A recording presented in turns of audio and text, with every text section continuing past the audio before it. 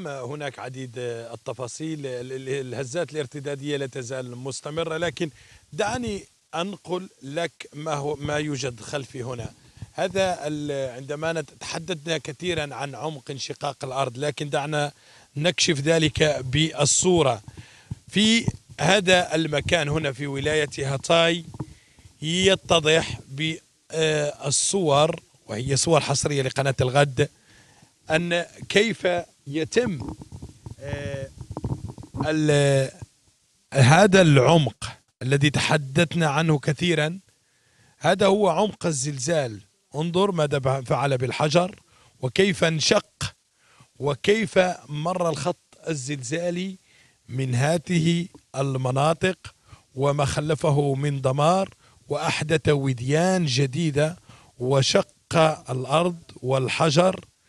ونستطيع أن نلاحظ حجم الهوة وحجم العمق الذي آه، صنعه في هذه آه، الجبال.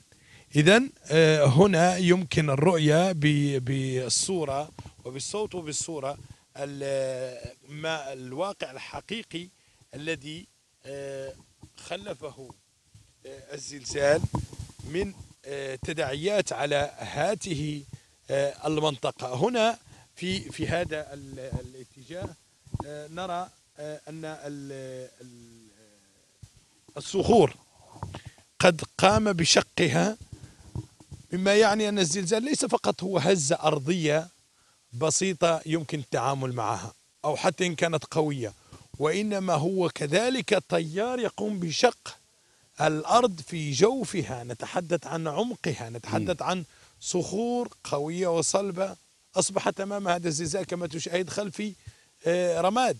نعم. وبالتالي هذا يوضح ماذا يقع في العمق وتأثيره على سطح الأرض تأثيره على العمارات على الأبنية. بالتالي تخيل لو كانت مدينة فوق هذا العمق لانهارت بالكامل. فاخترنا أن نبحث عن المناطق التي فيها انشقاقات وبالتالي هذه المنطقة بسبب هذه الشقوق وهذه آه، الوديان التي فتحها الزلزال الجديدة انفصلت المنطقة الغربية عن المنطقة الشرقية وبالتالي لم يعد الاستحالة آه، قطع هذه الوديان من الصخور ومن كانت هنا غابات من آه، الزيتون في المنطقة. الآن أصبحت هذه المناطق الفلاحية مقسومة بسبب هذه الوديان التي فتحها الزلزال والأكيد أنها ستصبح أمر واقع بمعنى أنها ستصبح مع المستقبل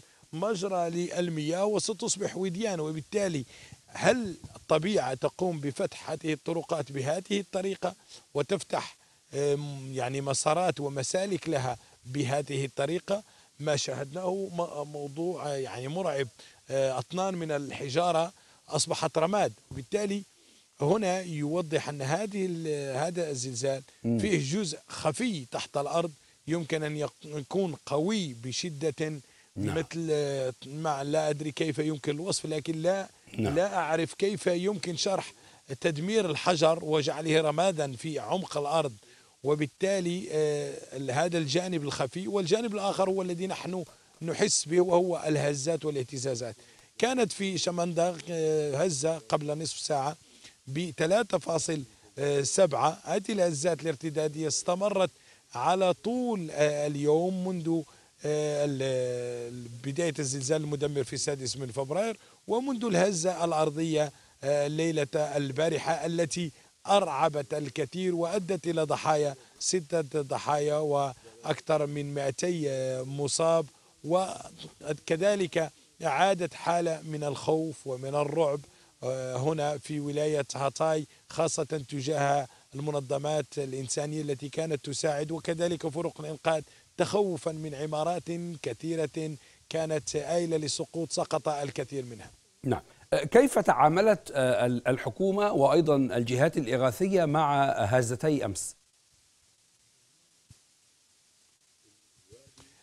الفرق الإنقاذ دائما والجيش التركي يواصلان عملهما بشكل مستمر ودؤوب ولكن المسألة هنا لا تكمن في مسألة الحكومة تكمن في مسألة آه، تأتي من آه، من عمق الأرض من شيء لا لا يعني لا- حيلة أمامه ولا إلا أن الجانب الإيجابي فيه هو أن أغلب سكان ولاية هاتاي قد تم آه، إجلاؤهم من طرف السلطات التركية إلى ولايات أخرى. وبالتالي من يعيش على المحيط الزلزالي هو خارج هذه الولايات.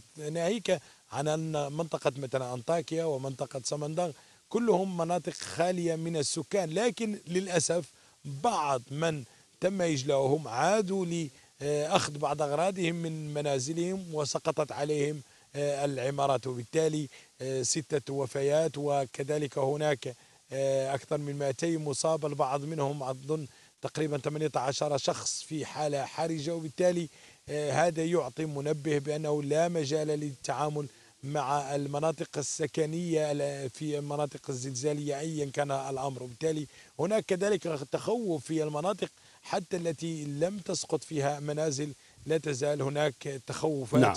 من من عودة آه، ال- ال- ال- الهزات نعم. الزلزالية أو الهزات الأرضية إلى تلك المناطق